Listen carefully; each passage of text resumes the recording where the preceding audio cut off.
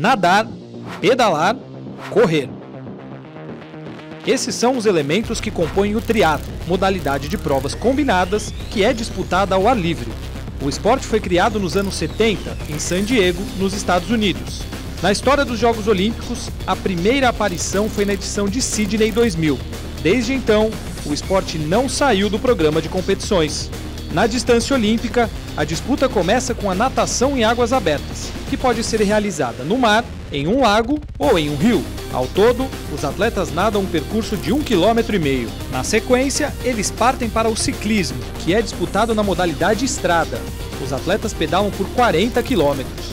Por último, vem a corrida, também na rua. Os competidores correm um trajeto de 10 quilômetros.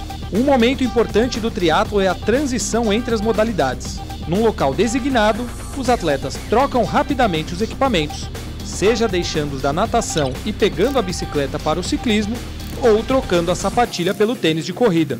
E claro, vence a competição quem cruzar a linha de chegada na frente. Nos Jogos Olímpicos ainda há a disputa do triatlo em revezamento misto. Nela, dois homens e duas mulheres se alternam nas provas. Geralmente, cada um compete em 300 metros de natação, 6,8 km de ciclismo e 2 km de corrida. Tudo isso faz do triatlo um dos esportes mais emocionantes dos Jogos Olímpicos.